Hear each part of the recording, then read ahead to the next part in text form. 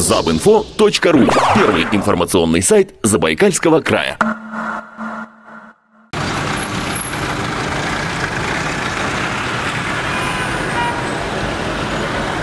Уже почти неделю автомобилисты Читы терпят неудобства в связи с ремонтными работами на одном из участков транспортного кольца на перекрестке улиц Шилова-Бабушкина. В пробке приходится стоять автомобилистам как по Бабушкина, так и по Шилова. Да и к магазинам, рядом с которыми вырыта огромная канава, не подъехать, не подойти. Проблему автомобилистов руководство ТГК пообещало решить через 2-3 дня, а это значит, что ориентировочно 29-го там будет полностью восстановлено движение. Но вот посетителям магазина в доме по Бабушкина 108 придется потерпеть до 3 декабря. Именно в эти сроки ТГК планирует завершить работы на данном участке. А пока там полным ходом идет замена 150 метров труб, уже сейчас подрядчик поменял 50 метров. Отметим, что никто из потребителей этого района не был отключен от теплоснабжения. Александра Леонтьева, Анна Хвостова специально для Забинфору.